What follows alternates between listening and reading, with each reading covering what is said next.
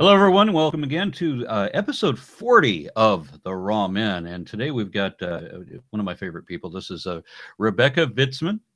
And she has a, she's a very powerful story. When I, I, like to talk to progressive people, I like to talk to people that are getting out and fixing things and you know, making the world a better place. And this is one of those people. So this is one of my opportunities to actually do what I want to do in that regard.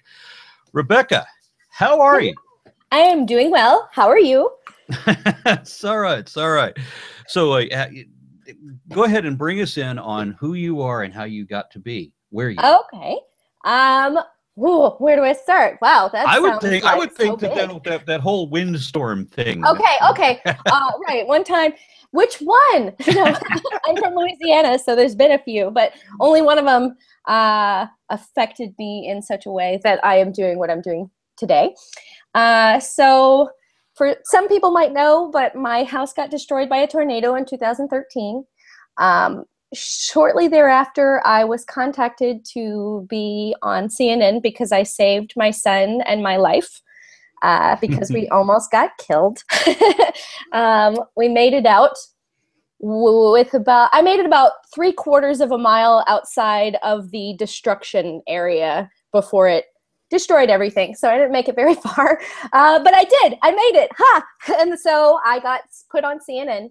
Uh, and at the end of the nine minute interview, uh, Wolf Blitzer tried to have my son close. He said, you know, uh, Anders, say, I, am Anders and this is CNN. And Anders had been repeating things earlier in the day, but he was not having any of it. So Wolf went for a different close um, where he asked me if I thanked the Lord. uh, and I said that I was an atheist, and then that went viral. well, I said, I'm actually an atheist, but I don't blame anybody for thanking the Lord. Because I don't, you know, that's fine. They can thank the Lord. You know, they can think positive thoughts about me being alive. That's nice.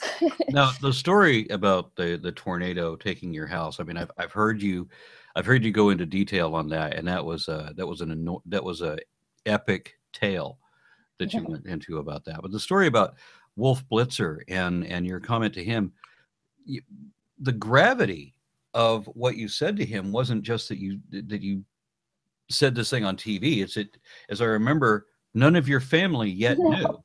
No, I was not out. Like my family didn't know, my friends didn't know. The only people I had ever said the word I you know, atheist to in reference to myself were other atheists who came out first. And then I was like, oh, me too. Or I would go to an atheist meeting and, you know, I knew they were all atheists and I could be like, well, I'm not out, so don't say anything, you know, don't post things on my Facebook, you know. Um, yeah, somebody once posted, you know, nice to see you last night, heathen. And I like immediately like deleted it. And I was like, ah, you know, somebody might see the word heathen and think something weird about me, you know. I right, I was very closeted.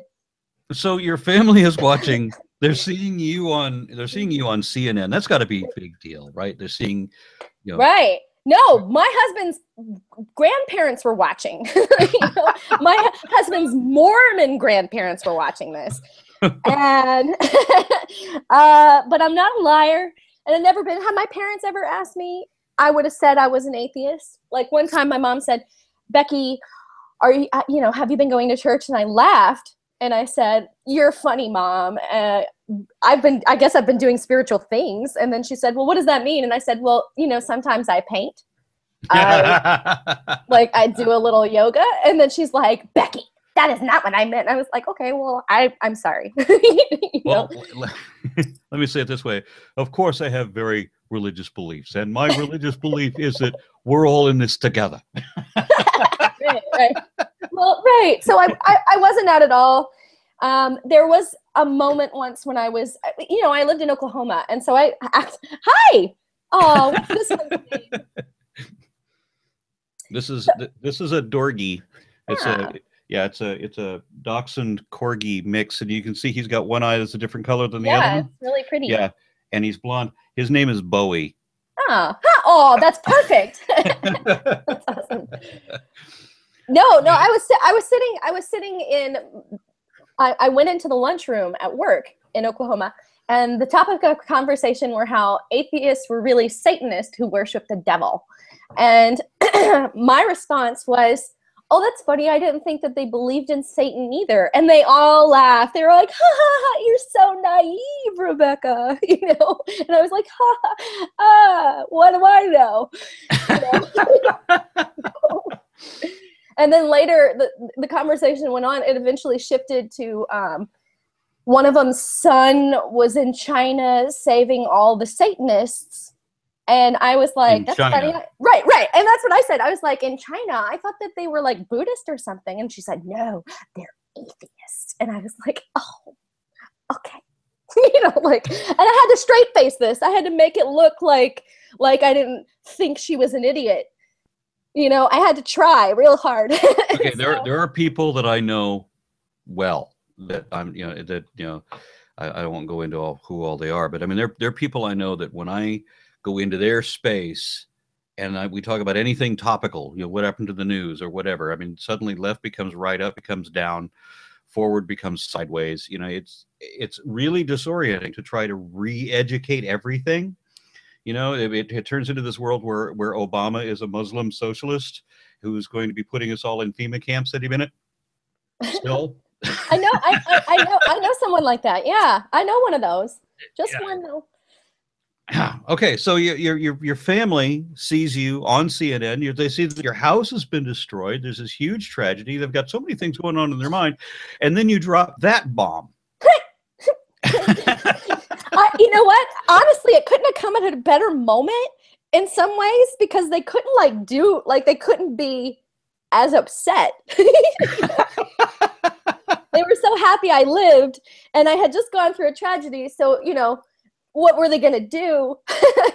so my mom, she cried. She did cry. My mom cried and and she said, "But you're not really an atheist because you believe in a higher power." And I said, "Mom, I wouldn't have said atheist if I believed something different. Like I wouldn't have gone with the word atheist like out of nowhere, not knowing what the, the connotations were. And then my dad said, "Don't let those people let you be their spoke or, or make you their spokesperson." that's, that's his comment. Oops! Why didn't you tell me that? We've we've had you on stage so many times already. right. It's okay. He's a Tea Party activist, and if it makes him mad, then I'm doing something right. I'm sure. I'm positive. uh, and so, right. So my parent, yeah, everybody It's found out that way. Party- he's a Tea Party activist. He's beyond reason. Right, right. Like, if he's gonna say, you know, like, don't let them make you their spokesperson, I'm like, well, whatever, you know. So, right, they well, so my my parents actually found out the same way the internet did, like a YouTube clip on Facebook. Like, you know, it's Mhm. fine. Uh, so I got back from that interview and I called my husband right away. And it's funny because I didn't really real think much of it. I thought, oh no, our families were watching. That's about it. And so I called him and he said, How did the interview go? And I said, Oh, it went great. But there was this weird part at the end um, where he asked me if I thanked the Lord. And he said, Oh no, what did you say? Because he knows me.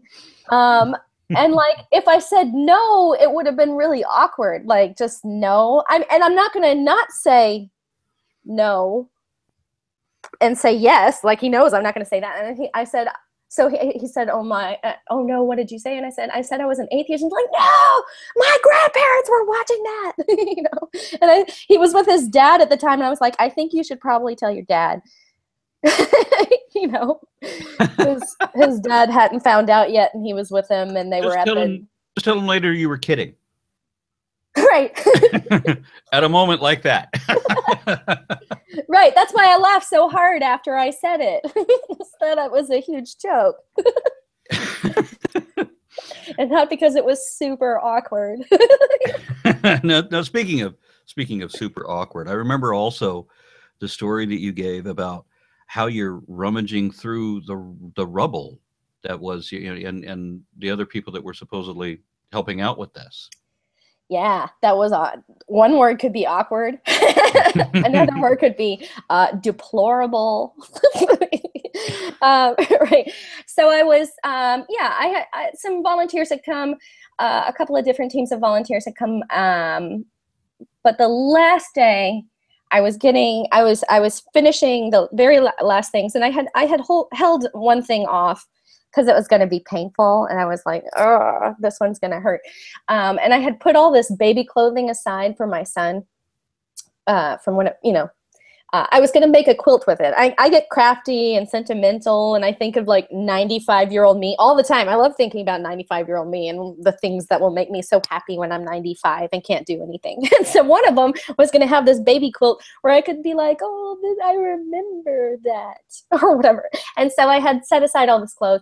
It had been completely destroyed. It was covered in insulation and debris, and my mind was saying, asbestos, lead, mercury, you know, like it was, I was never going to be able to be comforted at 95 thinking I was, you know, I wouldn't so have even made it to 95. this is a brief aside. The condition of your house. I mean, we're, we're, we're talking about you going through your stuff as if you oh, yeah. still have a, a, place to put stuff. So yeah, no, right, it was knee level um, right after the storm. Like, uh, imagine just a house and now it's like knee level. Like that was what I was going through. Okay. So, um, not a wall standing. No, no, no, no, no.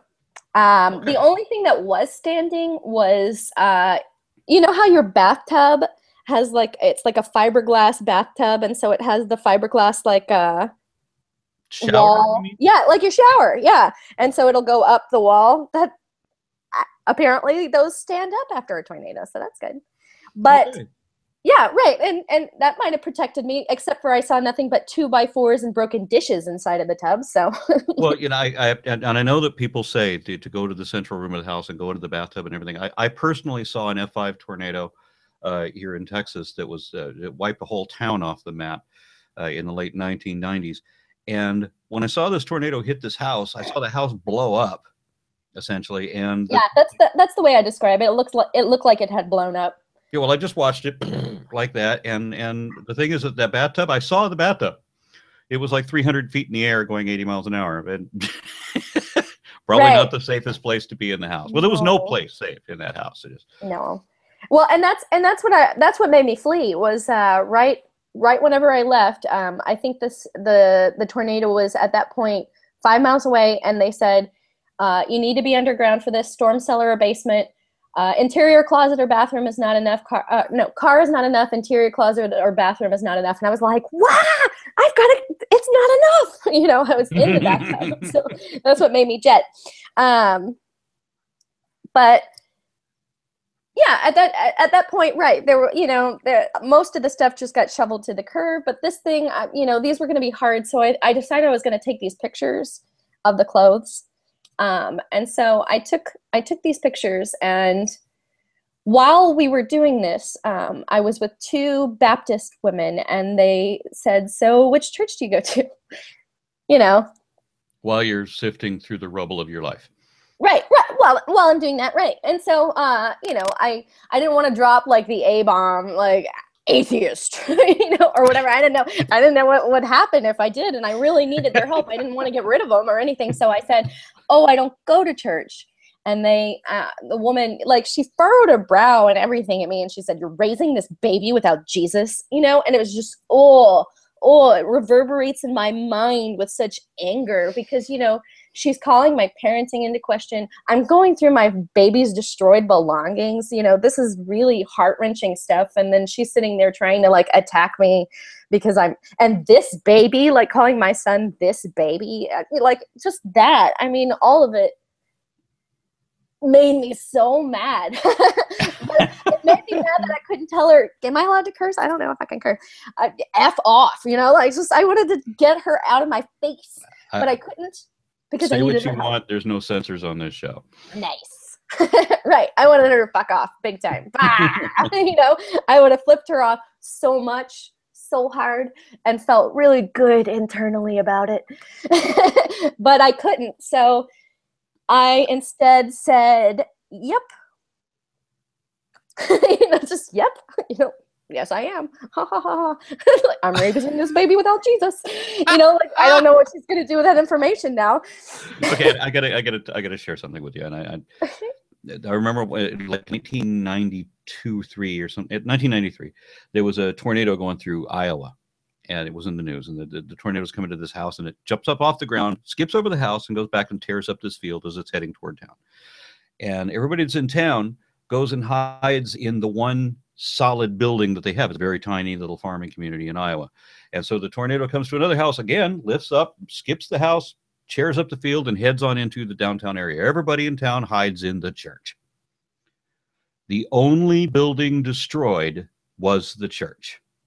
Everybody in the town was killed except for a half a dozen people who Oh. thanked God okay. for saving them. Yeah. Yeah. destroying the building they're in and killing everyone in the town that they know. But they're thanking God for saving them. Yeah. And it, why didn't? What about the two houses that the tornado skipped over? If yeah, I'm thinking if there was a God, he could have skipped that. You know, so what it looked like to me, since the tornado didn't skip over the church, it looked to me like if there was a God, he he was obviously bowling for Christians. right right well i say that all the time about oklahoma i'm just like it's really funny that there's such a high you know density of the population believing in christianity since he's trying to wipe it off the map you know? And every time they make one of those giant Jesus statues, the you know lightning strikes it and sets it on fire. Again, we're talking about something specific to Oklahoma, which I thought was hilariously funny. But anyway, okay, back to you dealing with this woman, and she wasn't the only one that was like, no no there were two of them. And so they spent the next 30 minutes trying to convert me. And they were telling me you know uh, god had put them in my life because they were they, he missed me so much and he wanted to bring my son back home to him. And So let me let me make sure let me make sure I understand this. Uh, so God sent a tornado to destroy your house, so, sent the yes. So Yep. that he could send these two biddies to you.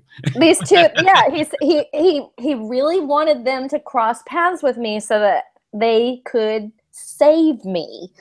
Uh, and i was you know i i seem like i'm perfectly capable of saving myself.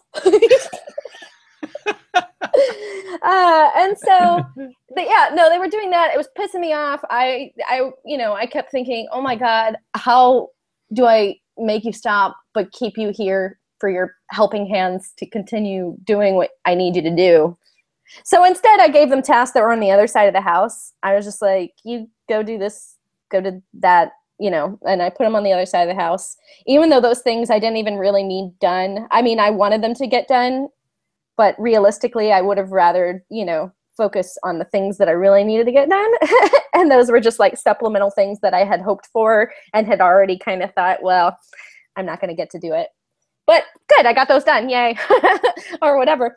And, so yeah it was pretty funny because at the very end like okay so what i ended up doing this entire time while you know every single time that they were talking i was just like i am going to make sure our people aren't doing this shit you know if they're in somebody's house right now and they're making them feel like shit about who they are if they're like in a christian's house and they're just like where was your god when this happened you know i was just like i'm gonna go stop them because that's that's a dick thing to do Well, no, no you, you, you, you're jumping the gun. You're jumping to the end of the story when you talk about, you know, make sure that your people aren't doing this. We don't have. no that was then yet. that was happening right at the moment that's when that stuff popped in for the first time Okay. That's yeah that's whenever i had my first my first thoughts of that was just like i've got to find our people because i figured we had people already there. Like i just assumed that there was some atheist organization out there in the cleanup and they were you know helping people out and and i just hope they weren't being dicks and i kind of like kept my fingers crossed and i was like i'm sure they're not really being dicks i'm sure they're being really awesome i bet if they're actually out there they're really nice I don't know. I've, I've met quite a few atheists. They can really be dicks. I know they can be dicks. That's why I had to like cross fingers, you know, like I hope it's the humanists. and so I I I ended up uh you know thinking that I would go volunteer with them or whatever. And that's what you know, the wheels were turning and I was just like I'm going to go volunteer with them. I'm going to help I I- that's what I'm going to do with my time.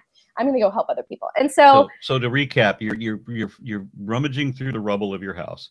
yes. You're you're getting not not very much assistance from these people at a time that you really don't need this kind of guff, and Right. all the while you're thinking that there there must be or should be some kind of secular Must be is the right term. I never thought like never once during that time did it occur to me that that wasn't there at all. I just it was there. like it it already existed. And so right. Well, so and then this woman at the very end said, Well, I hope I've inspired you. you know, and I said, Oh, you have. I totally did. And, and, I knew inside, I knew inside exactly what that meant, but she smiled. like she was really pleased with herself. And you know what? Whatever. Like I got her to help me. She helped me. Great and she did inspire me and, and and good on her because look a lot of atheists are going to help a lot of people because of that lady. So yeah. Well well fill us in on on the, how your idea developed. Right well okay so right I, after that i went well i didn't go home. I went to a friend's house and i started googling. I was just like you, and I kept, you went home right. I was thinking, you know, then I went home. No, I didn't go home. I went to a friend's house and then I started Googling, you know, like atheist uh, disaster relief or, you know, humanist disaster relief, disaster relief secular. Like I was just trying to put things in. Satanic. right. Satanic temple, disaster relief. No, I didn't put that one in. But, you know, I, I was I kept thinking, am I just putting the wrong keywords into Google? Do I maybe it's some stupid name like points of light you know starstruck happiness. I don't know you know like some some some weird you know thing that doesn't self-describe properly. And so then i you know at this point i had a few you know contacts with atheist people and i was able to find out no it didn't exist. Like and that people knew it didn't exist. Like higher up people you know understood that it didn't exist. And i was like oh, okay. Um, that's not okay at all in any way whatsoever. Uh, you know, because I kept thinking, I was just like, how is it possible for it to not to exist? If we want to live in a world that doesn't have religion, what happens when disasters happen? like, we have atheist charities all over the place, so why wouldn't we have atheist emergency yeah it doesn't make any sense. It didn't it didn't make any sense at all. And, and and honestly to live in a world that doesn't have religion you have to be able to do these kinds of jobs. And so i um started you know talking everyone's ear off trying to find what i could do because i was like i can't do this alone. Like clearly i can't do this alone. I'm not skilled in this area. Like right? I'm not I, i'm not stupid. I'm not like yeah i can take this on and like totally do it. That's yeah, I. That's I'm the attitude I always have just before I fail. right, right. I'm pretty sure that's that that's the that's the mark of a failure is that I can definitely do this giant thing alone. you know. I think famous last words are "I got this." yeah, and so finally, I I met somebody, um, or a friend of mine her name was uh, Christy Dawson. She's the she was the founder of Oklahoma, Oklahoma Secular Parenting. Said, "Oh, Dale McGowan's going to be here in about a week, and you should talk to him." And I was like, "Okay, he writes like secular parenting books, but how does that help me?" you know. And she said, "Oh, well, you should. He does. He's the founder of Foundation Beyond Belief. You should look into it." And so then I went home and I googled Foundation Beyond Belief, and they had two different programs. Um, well, they had three how many? They had a few programs going on uh, and two of them uh, one of them was volunteers beyond belief which is now beyond belief network where they have 119 volunteer teams across the country who are putting in hours. I think they just went over 100000 hours that they've put into their local communities which is amazing. And this is just you know humanists working in their local communities 100000 hours that's awesome. But also 119 teams. I think they were in 35 states. And so that is a tremendous um, volunteer outreach. And then they also were raising money for disasters. They had raised, you know, maybe 65,000 for one disaster and 35 for another and 48 for another. And so they were very good at fundraising for disasters and at volunteer organizations around the country. And it's like you guys just combine the two. Like this is this is you guys have this. This is exactly what you should be doing. And so i approached dale mcgowan that you know the next week. And before that though I, I spent an entire week writing out like this is how you should do this. These are the things you would need. This is the kind of this is how you would get it done la la la, la. and so I approached him basically with like an elevator speech, like prepared. And then he was like, you know what? Noelle George, who just took his place as executive director of Foundation Beyond Belief, he said, Noelle George has approached uh, me with this idea in the past, and I really think I should put you in touch with her. And so I got in touch with Noelle, and then we were going back and forth, and then we decided, okay, well, you know, p- at least put this in the brainstorming phase, and then we started with that, and then it moved on and progressed and progressed and progressed, and then it became a, it became an endeavor. I, I, I donated more than a thousand hours one year and like you know like just you know because i'm volunteer and so i'm you know just doing all this stuff but uh, we had uh, a woman working with us samantha montano who was getting her doctorate in emergency management and she you know basically made sure that we did everything right uh, along the way and so that was awesome except for it made it a lot more work because things like uh, you know what we've just you know what has been discovered by uh, people who study emergency management is that trained volunteers are much better at doing what they should do once they're in these environments that they've never been in before because you know you're suddenly cast into this environment you've never been in and you expect it to behave in a similar way to your normal life and it doesn't in any way whatsoever it's counterintuitive in a lot of ways um, and so it was really awesome to have her on there. Um, we ended up developing a couple of trainings uh, along the way. We have um, the first one is uh, Introduction to HDR Teams, which prepares you for the environment. Pre- prepares you for thinking like a humanist whenever you're within the environment, how you're supposed to interact and um, think about things and what not to do and stuff like that. And then the other one is um, introduction to disasters, and that specifically goes over different types of disasters and understanding really the emergency management field in general so that you understand what you're doing why you're doing it exactly the way you're doing it and you know how a lot of people are doing things very very wrong when it comes to disasters give me give me an example of something that people do wrong Okay.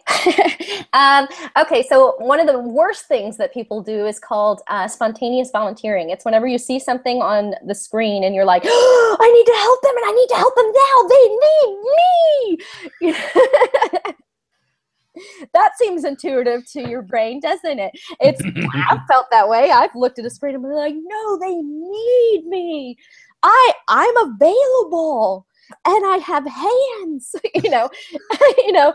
So you uh, think? Conf- I confess. I mean, I've seen a lot of the like flood footage, you know, where where, where people are, are are hanging onto tree limbs, being dragged around, and and the, the desperate thing where they're like they're going to go into the drainage ditch and there's the, the guy reaching out trying to get them and can't you know? Yeah. Yeah and i, and I don't want to be there to be just as futile right. Right. It's a human thing. It's a human thing.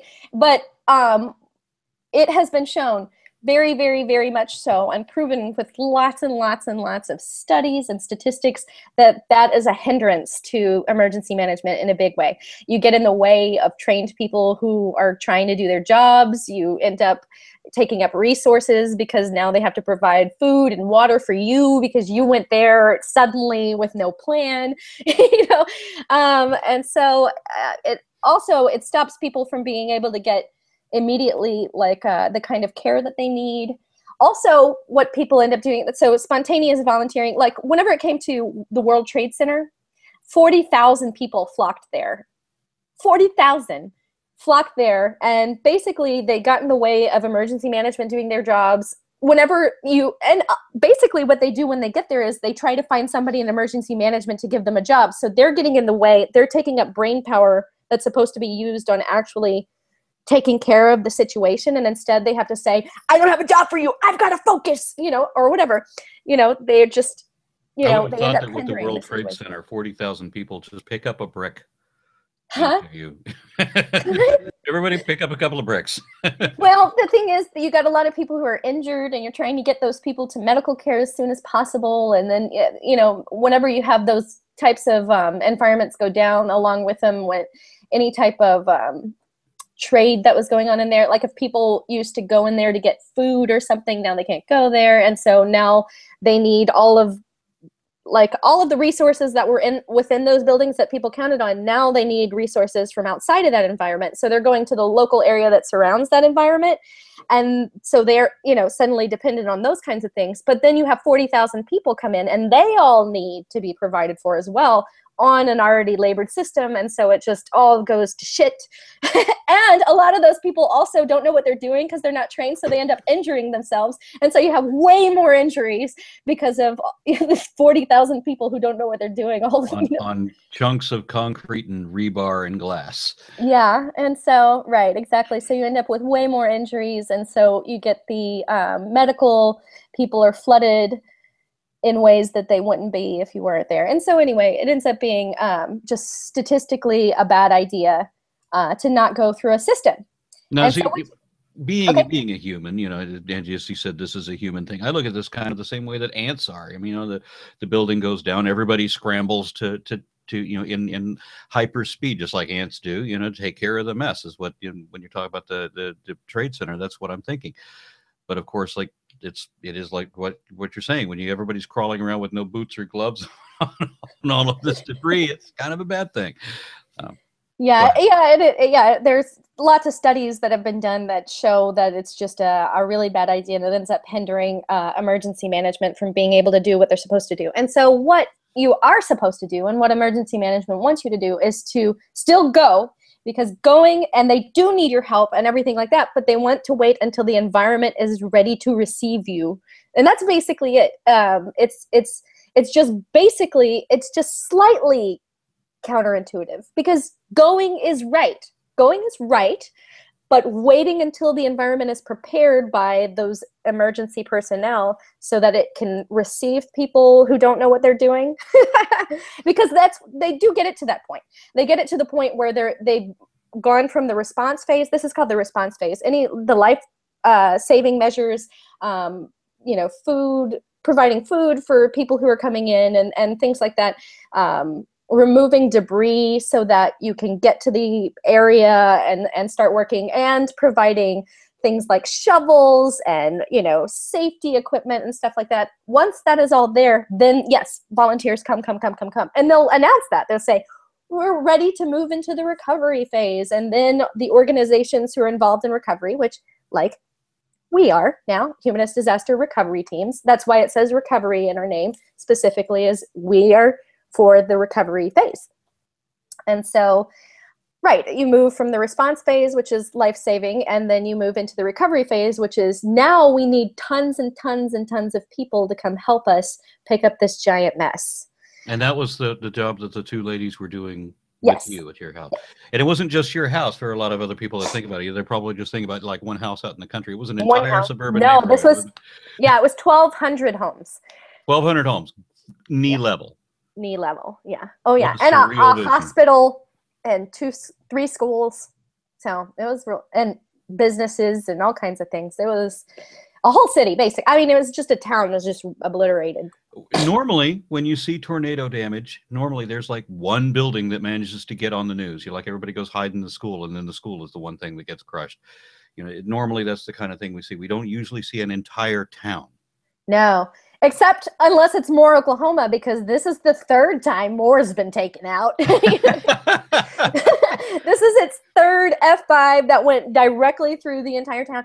And I'm just confused why they keep building it and don't just make it a topography memorial plot. like you're just like topography is not in this town's favor Uh, it's all over here now. you know? Same thing with Jarrell, Texas, which is the town that got hit by the FI that I saw that that took that wiped everything out. It took the asphalt off the road. Oh, that's F5. Yeah, that's one of the yeah, that's one of the specific things that they say for F5 is takes off asphalt. I saw a, a the foundation foundation for a house that was folded in half. Wow. So Whoa. that's concrete that broke, and then the rebar is still connected, and it's folded over like that. So I mean, an, an incredible amount of destructive force.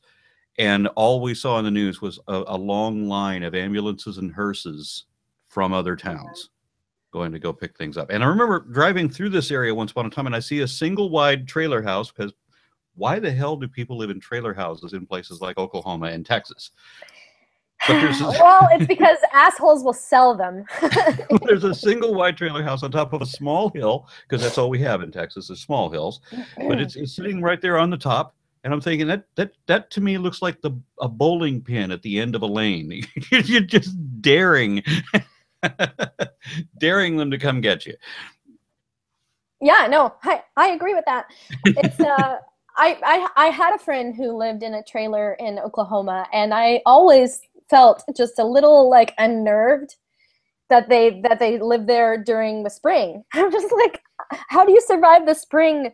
Like the anxiety would kill me. like, just I couldn't do it. But you know what? It's usually what's sad is that it's usually people who can't afford anything else. And and so it's sort of like it's really annoying to think that I, I almost feel like whoever sold it to them is like taking advantage of the fact that they can't afford more or something. I don't know. I just always feel like like something's not right there and somebody is making money they shouldn't be making because they're being dicks. like, so you mentioned this you mentioned the spring, right? Well, we're we're in February now, but the next month is March and of course April, and this is when and, and May is our season for tornadoes.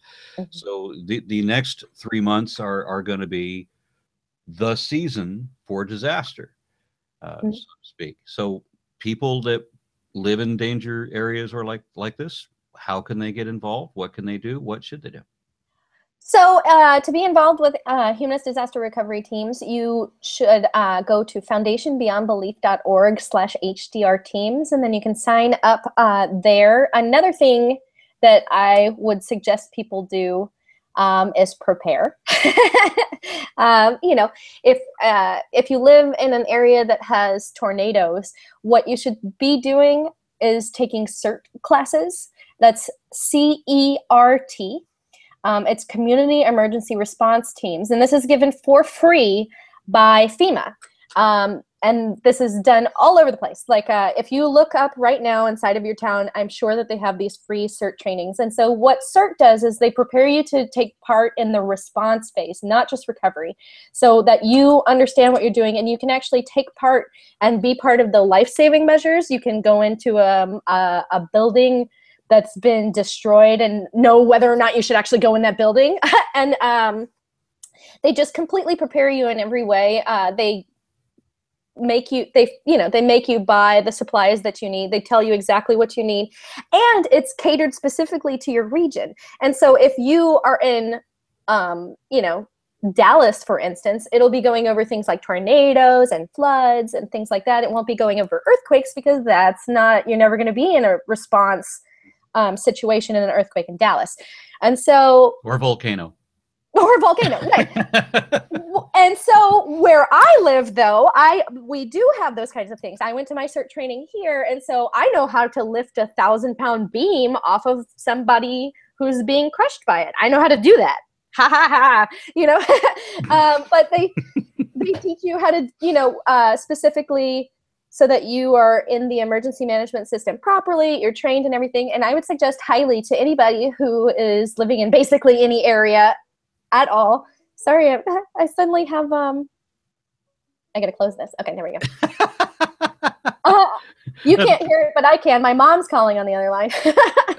she she froze your face in the video. In, oh no, it looks bad too. it's a very bad expression. oh well. That's fine. I'll just stay that way. That's good. Well, you can turn the camera off. okay, then, let me. You know, and wait a moment, and you can turn it back on. Yeah, there you go. Smart. Okay, if it ever comes back. Did you ever give a uh, a website to people to go to other than the, yes. the training and everything? You went to no, it's at foundationbeyondbelief.org slash HDR teams, and so that specifically HDR teams. What we do is we want to focus specifically on um, times. Oh, I know what happened. Okay, I'm trying to figure out how to get my um, my pretty face back on the thing. okay, well, while you're doing that, I want to tell uh, tell another one. Okay. You know, another anecdote there uh, for anybody who cares. There, there was a point where there was a tornado headed for our house, and it was announced on the news. I got and I got a call from somebody saying that you know it's showing on Doppler radar, it's headed straight for you. I see it on the TV screen. Sure enough, headed straight for me. I step out on the front porch, and I can't see the end of my driveway because of the torrential rain. And it's it's dark and it's it's raining buckets, and I can barely hear the tornado siren, and I can hear screaming, just kind of muffled in the rain. And I remember telling my son to to put on his steel-toed boots, and I get I got yelled at for telling my son to put on his steel-toed boots. And I'm thinking, you know, if the house gets reduced to rubble and he's alive, he's going to want those boots, and he will not be able to find them because he's going to have to walk over rubble. Uh, other people weren't. Absolutely. Yeah. So what? No, are the things- I, yeah, my my tornado pack. Uh, yeah, we had to totally dig that out. I had one of those. It so when you just- say to, to people to prepare and they're taking these courses, is I mean, do they have their own shovels? Do you have? Is there equipment that you're supposed to get on your own? Um, whenever you're taking whenever you're taking cert classes, they will have you uh, buy some things on your own. For instance, I have um, a hard hat and work gloves. I have um, boots and uh, earplugs, eye goggles, um, face masks, those kinds of things. Um, yeah, they'll have you buy the kinds of things that will keep you safe, so that you have them whenever you need them immediately. And so the thing is, as soon as you want to be um, involved in response. Um, a lot of other people will too and they're going to rush to the types of places that sell those things and they're going to sell out pretty fast. So you're going to want to already have those on hand and be prepared. Um, the thing about it too is you'll know what you're doing and so you won't be hindering the environment like the spontaneous volunteers that i was speaking of earlier. And so you can be involved in response and that is a, a really admirable and wonderful thing to do properly um, so is there anything that, that your organization does that maybe other groups don't or that you're that, that, that you should tell us about that would be interesting Um, you know, the thing that I think the thing that sets us apart the most is that we uh, come at uh, disaster recovery from a humanist perspective specifically. Um, and so what we do is we kind of go over training how to think like a humanist whenever you're in a certain situation with a survivor or with another volunteer who doesn't think the way you do. We we don't want to get into um, debates. so when you show up to somebody's r- y- y- laid waste rubble uh, and they say thank god i'm alive you don't respond like you know does this look like the work of god to you Absolutely not. if anything, no, no, no, no, no. They're human beings, and honestly, uh, you know, specifically, there's uh, psychological um, evidence that people need to cling to things like faith in a moment like that because their world is completely destroyed, and so their mind at that moment um, is very close to snapping in a lot of ways. It's very traumatic, and and the things that they're taking away from that moment are going to be traumatizing in a lot of ways, especially if anything negative happens outside of the uh, already negative environment that they found themselves in. For instance, like when somebody, while you're going through your baby's destroyed belongings, tries to berate you for not believing in religion, you're going to cling to that in some way, um, and it's going to affect you in a in a traumatizing manner. Luckily, I they call what I did PTSG, which is post traumatic stress growth which is nice. it's whenever you take something traumatizing and you make something good out of it. It's when you get all Nietzsche about it yeah. Um, but but but what we end up um, talking about is you know uh, who they are is very important at that time. Who they believe you're- that they are. you know your camera still doesn't work right Yeah, I do. I, I was thinking that I should take it off entirely and try to come back to the conversation. Don't worry about it. Keep going. Okay. Um, and so what they uh, what they say is that uh, during times of trauma what you end up needing to remind people of is who they are so that they can remember who they are because one of the most important things that can get you through that moment is this memory of who you are that either makes you feel positive or neutral as long as it's not you know like d- devastating and terrible then it's doing something good because it's getting you through it's getting you through coping with this trauma that you're trying to do. And so that i think is why people reach to religion so quickly because it's this sense of peace even if it doesn't make any sense. Like even if if you were us and you were just like dude everyone else died. That's insane. You know? Um, to them at that moment they're just trying to get through trauma. And so they like what feels good what feels good. God god feels good you know? And so they just go with it because it's what they have to do at that moment. And so um, we just don't feel like it's appropriate for us to interrupt uh, their coping mechanisms um, and their process. And everybody comes at uh, a tragedy or actually just life in general from an individual perspective. And so um, making sure that they're allowed to be who they are at that moment is basically the best thing you can possibly do is like provide a safe environment for them to be themselves yeah i don't know how i would deal with it. i mean in your situation you you lost a house you lost a lot of belongings but i mean so far as i remember from your story uh, you, your, your husband you your baby even your cats lived Yes, they, they managed yeah. to survive this.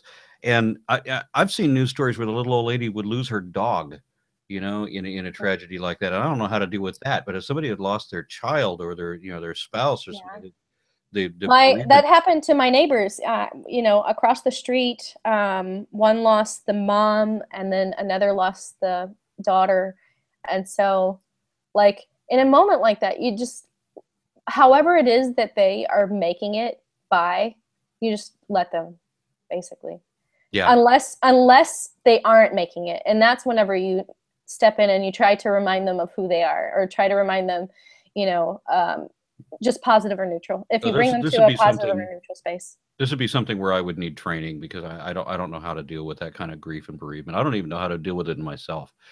I, I mean, I'm definitely, definitely, and that's and that's that's definitely something. Um, specifically uh, in dealing with uh, bereavement specifically there's a training that i want to eventually give we weren't able to yet because of you know funding and things like that uh, we weren't able to do it but specifically it's called um, CREM Community Resiliency Model. It was developed by a woman named Elaine, and it's a pretty amazing thing because it, it makes it very simple. It makes it um, basically what you, you do is you you try to help somebody come up with a list of resources, like things that always make them feel happy or neutral. Mm-hmm. Um, and so, and then w- have them speak about one of their resources. And while they're speaking about it, like you have them notice the changes in their physiology, like if they smile or if they give like a, a like if they take a deep breath and they feel like a little bit better, you say, you say, oh, did you notice you took a deep breath? And then bringing attention and awareness to the positive or neutral physiology brings them back into their frontal lobe and then they're able to process better. Because what ends up happening during trauma and if somebody's um, reacting to a trauma what's happened is their amygdala has fired and so they're in fight or flight mode and so they're freaking out.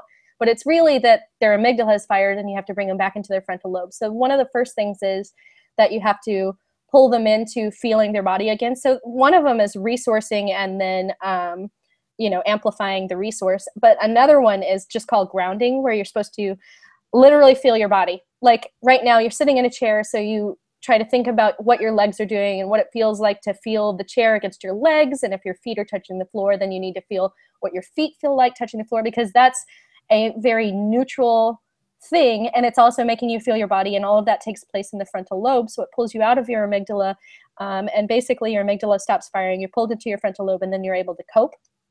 And so there uh, are very, very simple ways in which to bring people back down whenever they're panicking in uh, a traumatic situation. Okay. Mouthful. it's not hard. What I'm trying to say, and that's a reason why we have training. Yay! uh, and that's the yeah. If I could, what did you do before this? Because I mean, you, have obviously done a whole lot of investment of study uh, after that event? I mean, I, I, never asked what you did before that. I mean, you know, um, so one of the one of the things that influences what I do now that I did before um, is I I used to coordinate volunteers. I actually have an I have a national award. It was like um, they gave out seven out of 250 students, uh, 250,000 students that year uh, for volunteer coordination. So I'm I'm pretty good at that. um, and then um, I was a math tutor though uh, for a long time, and then I, for a while, so I I, I was being a stay-at-home mom to my son, and before that, I was a nanny for three years because I didn't want to have a kid without guinea pigging other people's kids first. Guinea pigging other Damn it, I broke another one. right, right, I right. I wanted to make sure. Also, I didn't want to like have a baby and be like, oh, this was a mistake. I'm not meant to be a parent. This was a bad idea. Like I wanted to make sure that I was all in. Um, and I wanted to, yeah, I wanted to fail on someone else's kid first or maybe like a few of their kids like but i did actually i, I did a really good job actually uh, with the nanny thing and then um, once i was ready to breed essentially. I uh, got like a desk job because i didn't want to be taking care of three kids while uh, pregnant. That sounded like a miserable thing to do. And so i right so so basically, yeah, whenever the tornado struck, I was a stay at home mom. Uh, so the tornado really took out not only my uh, ho- home life, but it also took out my entire work existence as well. Um, and the thing that, you know, it's, which makes me have to throw out another anecdote. Living here in Texas, uh, it, it, um, the former wife uh, was going to go to work and there was a tornado coming. We didn't realize it was a tornado, right? uh, I'm already at work. She can't get the door open. Um, and and when she finally does, when she gets a roommate to help her open the door, uh, he can't get it closed because of the pressure and everything. Uh, tornado hits our house and then hits my work. I saw the clouds rolling. It was a very impressive display. I was working in a little convenience store back then. It was many years ago. And suddenly both doors blew open and basically the contents of the store left. And I got to see uh, lumber, uh, two by fours and stuff floating down the street at very slow speed, uh, traveling along with cars. It would be car, car, car, two by four, car, and they're all traveling at about the same speed from each other. And I, I saw the tornado. You could barely see it. It was wrapped in rain, and it, it went across the street and it caused one of the, the, the walls to breathe in this one bank. And then it went to my wife's work and took the roof off wow. before she got there. Wow. Yep. So it's our house, my work, her work. yeah. Oh no. Oh. yeah. No. That's well. That's. Go ahead. You there? Rebecca?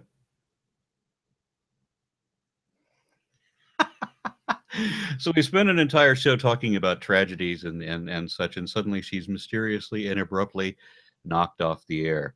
Uh, it was very close to the end of the show anyway, and I think we've said pretty much everything that we needed to say. Um, I don't know that she's going to be able to make it back in the next couple of minutes because I don't know what happened to her system, but I'm sure she's all right, and I will I will find out. All right, uh, so anybody, if we went to this um, audio only thing accidentally because her camera gave out and but we were talking at one point about possibly going audio only for a number of shows if not all of them uh, for the opportunity of being able to take calls. That's something i'm exploring uh, as an option and uh, be interested in some feedback. All right so i'm going to let you guys go and thank you for watching